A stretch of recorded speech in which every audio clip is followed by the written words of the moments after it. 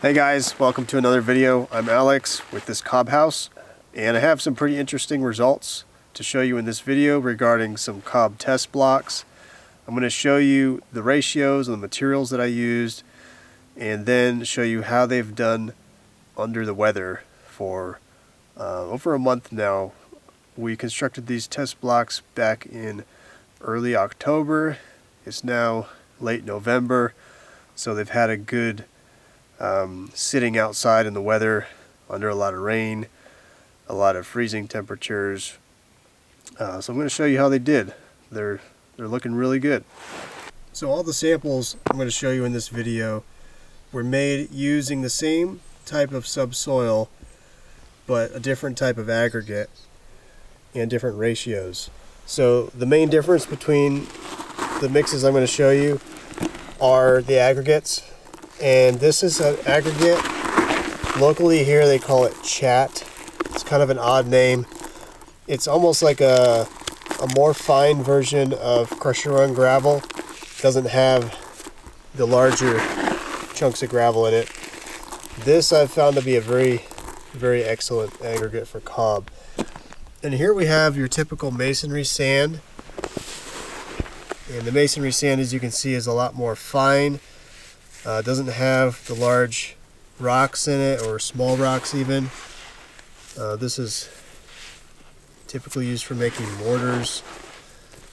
Uh, so I'm going to show you the samples and the differences, and you might see how the different aggregates come into play. Here are the four samples we made in our October workshop and you can see the ratios labeled on top. So I'm going to start from worst going down to best. So here I expected this to be the worst combination uh, but to be honest it's not a bad cob. There's a few things uh, that are not great about it. Uh, mainly the high aggregate ratio. This was two parts sand to one part soil.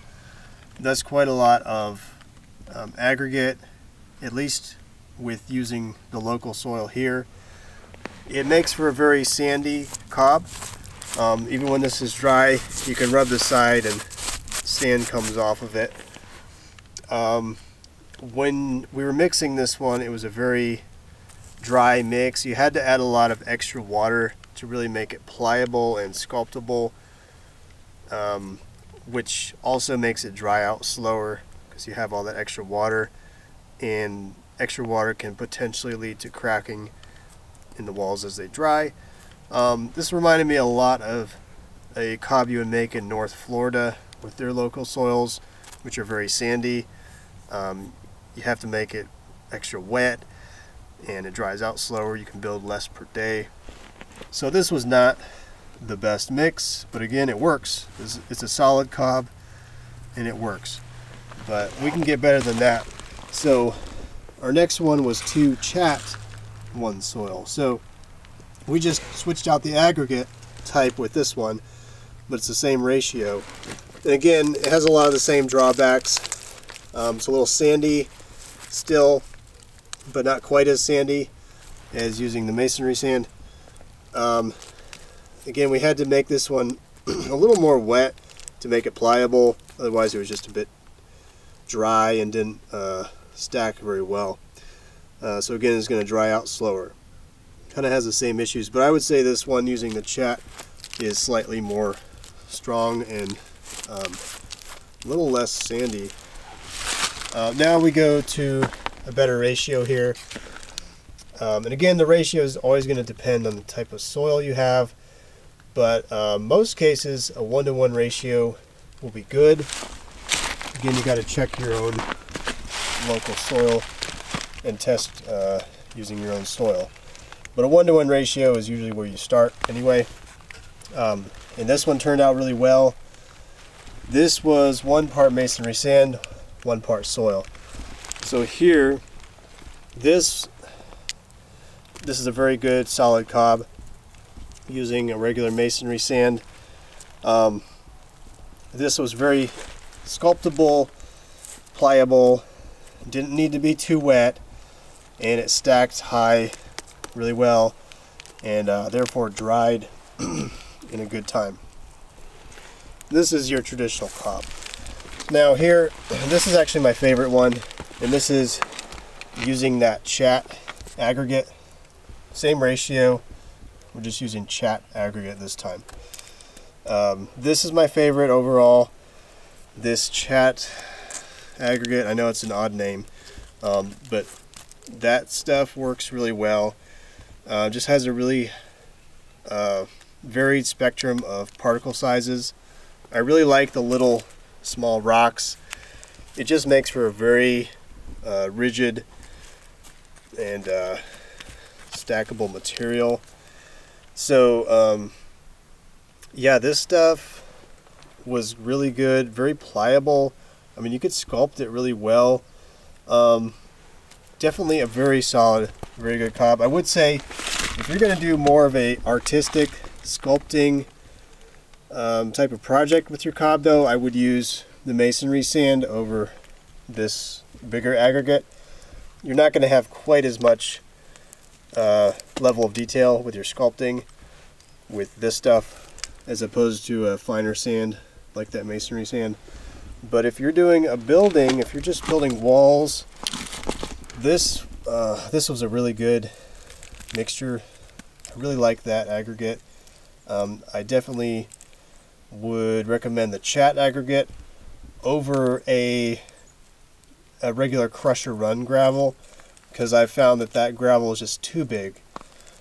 Not that it doesn't work, but I think this is a very happy medium between something like a masonry sand and a crusher run gravel.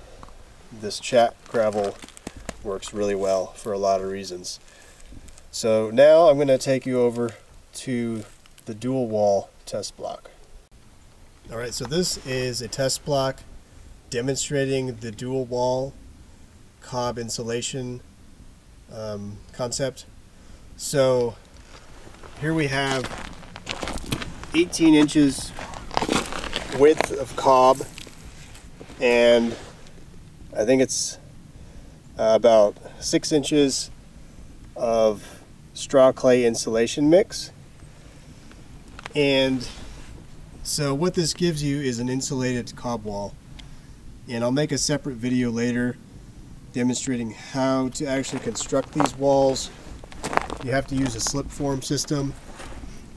I'm actually uh, going to be using the slip form system for all my future cob buildings because it's really, really awesome for a lot of reasons, which I'll get into later. I apologize for the lighting here. It's not really great. I don't know if you can see quite clearly. These two sections are like fused together though. So this is not separated from the cob. They're actually interwoven where they meet. So um, we use that one part chat to one part soil again for this cob section. And this thing is solid. I mean, this is some of the most solid cob I've probably ever made. And this has been out here under a lot of weather for nearly two months now. Doesn't even have a scratch. I mean, you can't even see any erosion marks. And I'm really surprised about the straw clay being outside here under the weather for that much time too. I thought it would be having mold problems already, um, but there's no mold on this thing at all. There was initially when I first um, we first took it out of the forms and created it. There's a bit of mold as it was drying but since then it's been completely mildew mold free um, which I'm quite surprised because this thing's just uncovered out here. But uh, this is a, a good demonstration of a cob dual wall. And uh, yeah it's doing extremely well. I'm gonna leave it out here for probably a year and see how it all does over that much time just out of curiosity. Um, but again, this is a, a really good cob mixture. That chat aggregate I found to be my favorite now. And then the dual wall system just doing really well. Alright guys, I hope you found this video informative in some way. And if you have any questions, please leave them in the comment section below. And I'll try to get back to your comments as soon as I can. And um, let me know if you want to see any other kind of test blocks created and um, tested out under the weather or in other situations. And uh, see what I can do about that too. So thanks for watching and stay tuned for the next video.